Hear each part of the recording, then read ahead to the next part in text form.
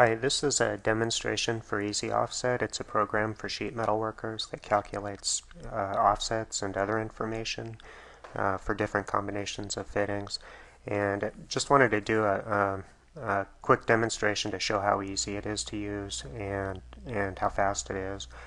And so wanted to do a sample problem using a 28 inch round elbow, 45 degrees, with a 28 inch throat radius and it would have a 37 inch offset.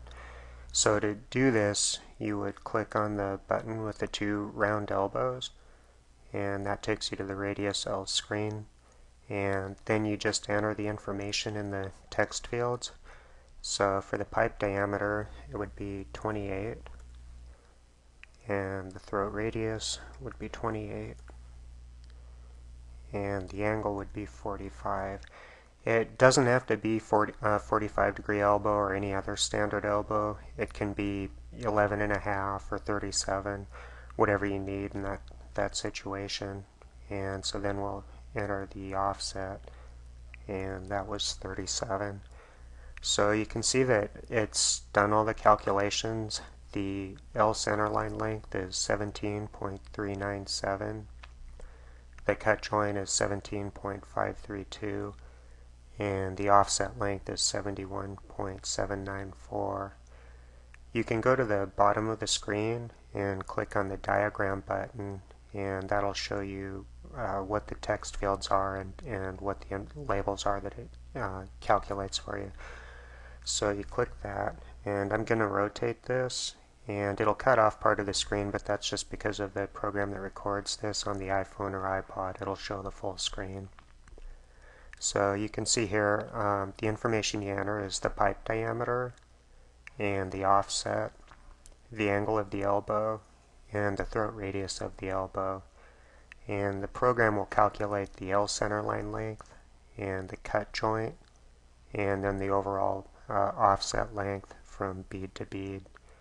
So you can uh, go back to the last screen by uh, pressing the back button and then um, uh, you can uh, do a lot of other things with this program.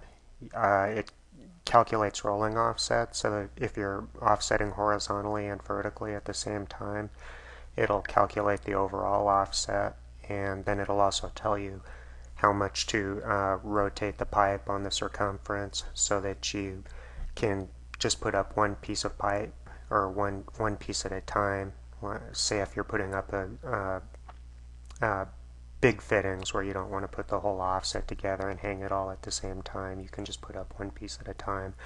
So that this would tell you how much to rotate that. The program also does a lot of other things and has different types of uh, different fitting combinations.